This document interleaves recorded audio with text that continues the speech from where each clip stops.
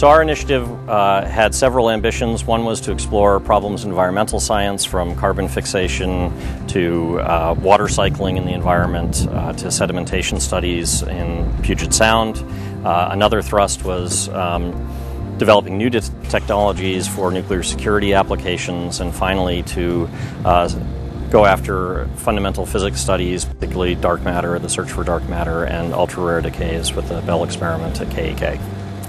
So one of the hallmarks of the initiative was instrumenting the shallow underground lab at PNNL. Uh, this facility was built at about the time the initiative started. Um, in the, over the course of the last five years, uh, we've put world-leading uh, instrumentation uh, down in that underground lab.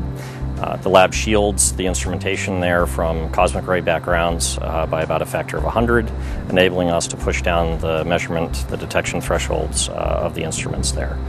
So we've been very successful in instrumenting the lab with uh, equipment that is uh, world class, um, one of a kind in the United States. Um, this includes uh, instruments for measuring um, uh, beta decay isotopes. Um, among the isotopes we're uh, trying to go after with this initiative uh, more intermediate half-life isotopes that are important for doing age dating uh, in the 100 to 1,000 year time frame. Um, we've able to establish uh, capability to measure argon-39, uh, which is a very challenging isotope to uh, date waters uh, from aquifers.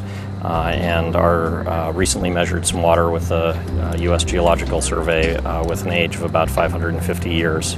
Um, we're one of two laboratories in the world that have this capability at this point, the other being the Bern Lab in, in Switzerland.